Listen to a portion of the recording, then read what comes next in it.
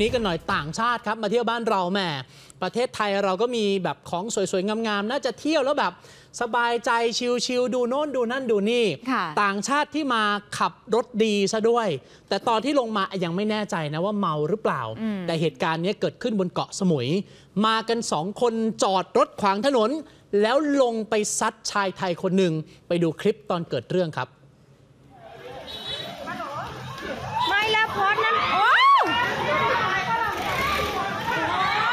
โห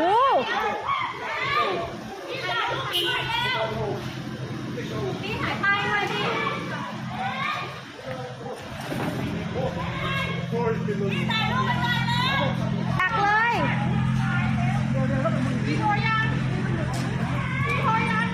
แล้วป้อมตำรวจอยู่ตรงนี้นี่โพสต์หนีแล้ว โอ้ยต่อยทีถล่มเลยอะคือลงไปฟาดอะลงไปต่อยลงไปฟาดแบบนี้คุณผู้ชมครับสองคนลงจากนี่นี่นี่ดูสิ โอ้โหทีเดียวอะ แล้วลงแบบล้มตึงอะ คุณผู้ชมครับ หัวนี่คือหงายหลังแล้วหัวเนี่ยฟาดกับพื้นสาหัสเลยนะครับ ต้องนำส่งโรงพยาบาล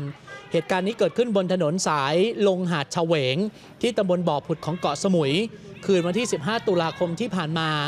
อะดูมีคลิปจากมือถือเหมือนกันนะค่ะชาวบ้านแถวนั้นเนี่ยเขาถ่ายเอาไว้นี่นี่อืนี่มอีกมุมหนึ่ง ใช่เขาบอกว่าก้าวร้าวมาก จอดรถขวางถนนเลยเห็นไหมเนี่ยเออขวางเลยนะเออใช่แล้วก็ลงไปชกต่อย คนเจ็บพยายามสู้แล้วค่ะ แต่สู้ไม่ไหวไงสุดท้ายก็เลยสลบไปเลยอะค่ะ นี่แล้วลงไปต่อยเขาแบบนี้นี่เห็นไหมคืเขาอขวางถนนมาเลยนะเนี่ยไม่ให้รถไปเลยอะอืมแล้วคนเจ็บชื่อว่านายสมควรสงคต ตอนนี้อยู่โรงพยาบาลเกาะสมุยอาการเป็นไงบ้าง เขาบอกต้องรอผ่าสมองเลยพี่โจ เพราะว่ามีอาการเลือดข้างในสมอง ไม่มีอาการตอบสนองแล้วด้วยนะคะ ตอนนี้ก็คือต้องส่งกำลังใจให้อาการค่อนข้างจะหนักเลย เมียคนเจ็บชื่อว่านางลักษณาค่ะ อายุ 47 ปีบอกว่า ไอ้ตอนเกิดเหตุอะสามีหรือว่าคนเจ็บในสมควรคนเนี้ยขี่มอเตอร์ไซค์มาจะมารับเธอกลับบ้านครับแล้วก็เห็นรถหรูของชายต่างชาติเมื่อกี้ ขับผ่าน อ่า เธอกับสามีก็หันไปมองว่า เอ้ยรถสวยจัง เมื่อไหร่เราจะมีแบบนั้นบ้างนะยังอะไรก็ชชมมอยู่เลยอะเนอะ ก็ชมว่ารถสวย แล้วสามีก็ขี่แซงขึ้นไป ปรากฏว่า พอแซงปั๊บไม่รู้ไปโดนตุ่มไหนปุ่มไหนเขาอะไอ้รถหรูคันเนี้ยขับจี้ท้าย แล้วก็บีบแต่ป้านป้านป้านเหมือนไล่ อื้อหือ คือตัวสามีนะก็จอดรถลงคิดว่าเอ๊ะ สงสัยฝรั่งเขาหลงทางมั้งเธอเขาเลยแบบเรียกเราอะไรอย่างเงี้ยเออก็เลยลงไปคุย ปรากฏว่าก็ถามภาษาอังกฤษนะว่ายูมีอะไรให้ช่วยไหมต่อยแฟนพี่เลยไอ้ฝรั่งไม่พูดอะไรค่ะเออเปิดประตูลงมาพับ ต่อยป้าบป้าบป้าบแล้วก็สู้กันแบบเนี้ยเออเธอก็งงสิทำอะไรให้ ไม่คิดเลยว่าจะกล้าทำอะไรแบบเนี้ยคือในมุมเธอบอกเลยว่าเอาคดีให้ถึงที่สุดอย่าให้รับกรรมเพราะผัวเธอเจ็บหนักไงเขาไม่พูดอะไรเลย เขาชี้หน้าแฟนพี่แล้วก็ตรงไปทำร้าย ต่อยแฟนพี่เลยค่ะ อยากให้สองคนนั้นที่เขาเขาก็ทำกับแฟนพี่อะได้รับผลกรรมอะค่ะ เพราะว่าแฟนพี่ก็ไม่ได้ไม่ได้ ยังไม่ได้ฟื้นเลยค่ะ ตอนนี้แล้วอีกข้างหน้าอีกภายภาคหน้าไม่รู้จะเป็นยังไง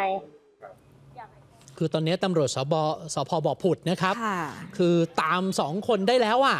นี่เป็นคนฝรั่งเศสครับ อายุ 34 ปีคนหนึ่งกับอายุ 28 ปี มาเที่ยวที่หัวหิน จากหัวหินก็มาต่อที่เกาะสมุย หลังจากตำรวจรวบตัวได้ก็ยอมรับว่าเป็นคนในคลิปก่อเหตุจริงอืมๆตำรวจแจ้งข้อหาร่วมกันทำร้ายร่างกายผู้อื่น จนได้รับอันตรายสาหัสนะครับ แต่ยังไม่รู้นะว่าสาเหตุเกิดจากอะไรนั่นน่ะสิเพราะว่าตำรวจก็ยังไม่ได้บอกอะไรนะครับ รู้แต่ว่าเดี๋ยววันเนี้ยจะคุมตัวไปฝากขังที่ศาลจังหวัดเกาะสมุย ค่ะ ขอให้คุณลุงปลอดภัยหายไวเนาะๆนะคะ อาการหนักจริง ๆ คุณผู้ชม